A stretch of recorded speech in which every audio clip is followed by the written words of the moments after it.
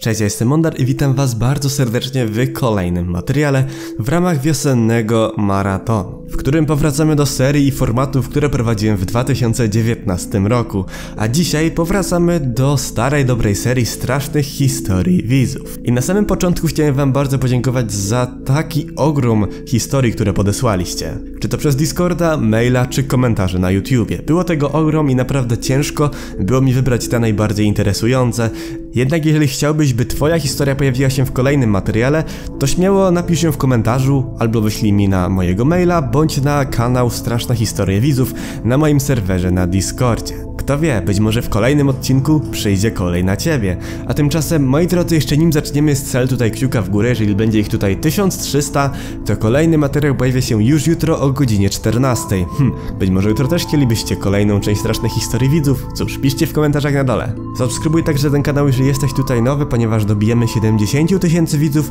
do końca roku szkolnego, a z każdym dniem jesteśmy coraz bliżej tej niesamowitej liczby. A tymczasem, moi drodzy, proszę rozsiądźcie się wygodnie, i dajcie się ponieść strasznym historiom widzów.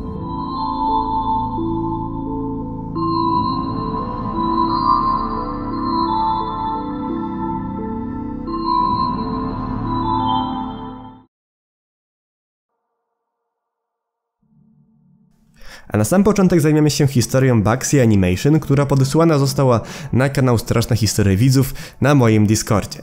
Baxi, bardzo dziękuję za podesłanie historii. Dobra, no to mam historię na odcinek. Generalnie była sobota, coś około 23 w nocy. Zadzwoniła do mnie koleżanka na Discord, ja odebrałam, zapytała się mnie, czy możemy się jutro spotkać. Ja się zgodziłem. Oczywiście zaraz po rozłączeniu wróciłem do grania. Była jakaś druga rano, kiedy zadzwonił do mnie telefon. Był to telefon od nieznanej osoby. Ja byłem przygotowany na takie sytuacje. Po prostu odrzuciłem połączenie. Jakieś 20 minut później ktoś rzucił kamieniem w okno mojego domu. Okno było całe. Przeraziłem się, oczywiście, lecz zebrałem się i poszedłem zobaczyć o co chodzi. Stał tam pan i dwa psy. Patrzył się na mnie. Miał takie puste oczy wpatrujące się we mnie. Psy szczekały. Byłem sam w domu. Zasłoniłem zasłony i poszedłem grać dalej. Potem znowu ten gość rzucił kamieniem o okno. Tym razem się rozbiło. Ja byłem bliski zawału. Szkło leżało na podłodze.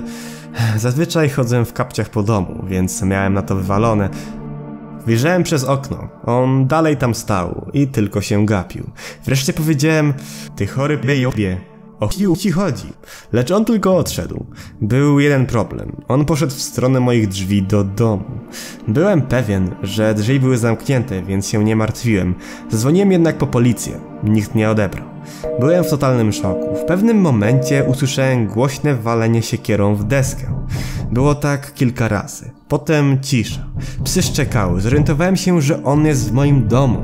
Szybko zabarykadowałem drzwi. Zadzwoniłem do rodziców, mówiąc, że jakiś psychol wraz z psami włamał się do naszego domu. Nikt nie odebrał.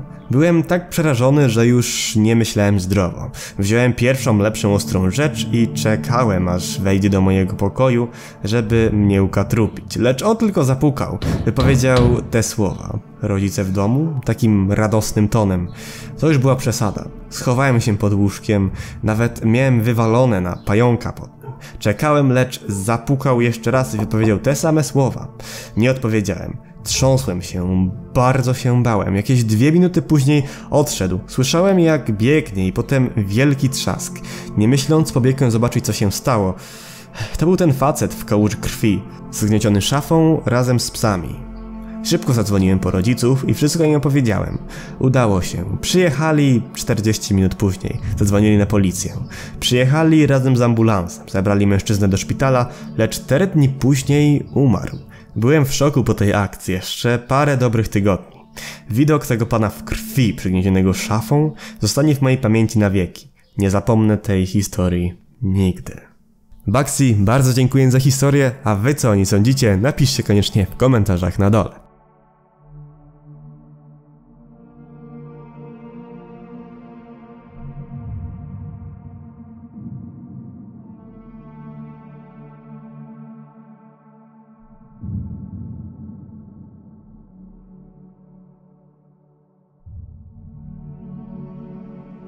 Teraz przyjrzymy się historii autorstwa Twój Budyń, która podesłana została w komentarzach pod ostatnim postem. Jestem Via. Zdarzenie z mojej opowieści wydarzyło się kilka miesięcy temu. Pewnej nocy coś mnie natchnęło, żeby wstać z łóżka i sprawdzić, czy drzwi są zamknięte. Okazało się, że nie były, więc po prostu je zamknęłam i wróciłam do łóżka. Wtedy była noc, sobotę na niedzielę. W końcu miałam wolne, więc postanowiłam dłużej pospać i nikogo oprócz mnie w domu miało nie być od 7 do 20. Leżałam i odpoczywałam, bo pies obudził mnie o 8. Nagle usłyszałam, jak ktoś napierdziela klamką od drzwi. Na początku myślałam, że ktoś się pomylił, ale coś mi nie pasowało, bo mieszkam na skraju lasu i mam bardzo mało sąsiadów. Około 5 minut później już słyszę ten odgłos, jak ktoś chce mi wejść do domu. Słyszałem również jak coś drapało w drzwi. Wtedy coś po drugiej stronie drzwi zaczęło jęczeć i płakać. Byłam zdezorientowana. Wkrótce szloch przerodził się w skomlenie. Nigdy czegoś takiego nie słyszałam.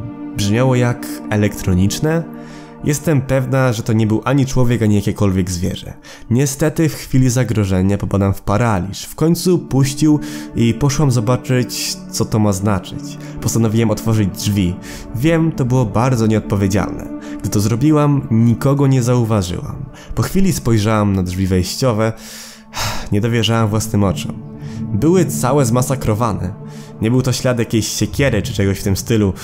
Można by prędzej to porównać do śladów pazurów, ale były na jakiekolwiek zwierzę zbyt głębokie. To coś, co chciało dostać się do mojego domu, prawie przebiło się przez drzwi. Może nie przestraszyłoby mnie to tak bardzo, gdyby nie to, że były antywłamaniowe i bardzo trudno było je zniszczyć. Od tamtego wydarzenia sprawdzam trzy razy, czy drzwi są zamknięte, nim położę się spać. Jeśli ktoś z Was ma znajomość na temat dziwnych stworzeń, mógłby mi powiedzieć, co to mogło być? Z mojego dochodzenia wynika, że możliwe, iż był to Skinwalker, ale trudno mi powiedzieć. Bo nie słyszałam jeszcze, by w Polsce zdarzył się taki przypadek i szczerze, to nie wierzę w takie rzeczy. Ale jak inaczej można to wyjaśnić? Bardzo dziękuję za podesłanie historii, była bardzo dobra i bardzo mi się spodobała, a co wy o niej sądzicie, dajcie znać koniecznie w komentarzu na dole.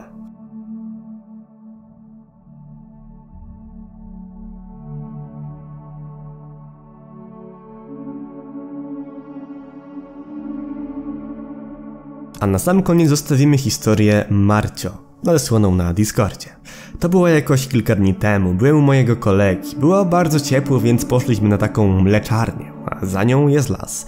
No i w tym lesie działo się dużo dziwnych rzeczy, na przykład dziwne odgłosy, dużo spotkań takich niezwykłych, czy dziwne czarne coś, które śledzi ludzi. Więc kiedy już tam byliśmy, poszliśmy do naszej bazy. Nagle znikąd zobaczyliśmy nieznaną czarną postać, która zmieniła się w jakiegoś kucharza. Miał czerwoną koszulkę, białą czapkę, którą zazwyczaj noszą właśnie kucharze i dużego wąsa. Chwilę później powiedział takie coś. Czemu mnie porzuciłeś? Byliśmy przyjaciółmi. Mój kolega i ja aż mocno czuliśmy niepokój. Czuliśmy, że zaraz czeka nas już śmierć. Kucharz zaczął nas gonić. Kiedy już dorwał mnie, myślałem, że to mój koniec. Lecz nagle pod mleczarnię przyjechał jakiś wóz. Wtedy postać uciekła. My również. Wtedy szybko biegliśmy do domu mojego kumpla i tam byliśmy do końca. Marcio, bardzo dziękuję za podesłanie historii. A co wy o niej sądzicie, dajcie koniecznie znać w komentarzach na dole.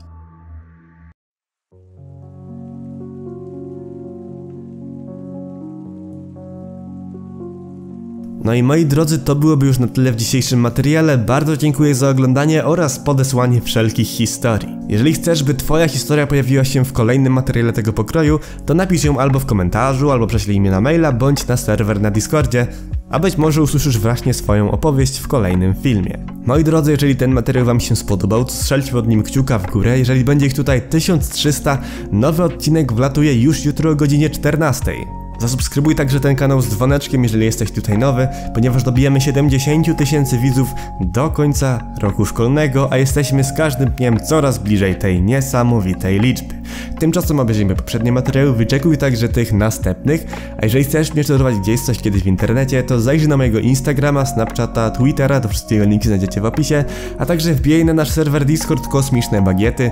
Możesz w tym miejscu popisać z wieloma wspaniałymi osobami, a także ze mną. Serdecznie zapraszamy, a tymczasem to już tyle ode mnie w dzisiejszym materiale. Do usłyszenia wkrótce i pamiętajcie, że mimo wszystko w każdej legendzie zawsze jest ziarnko prawdy.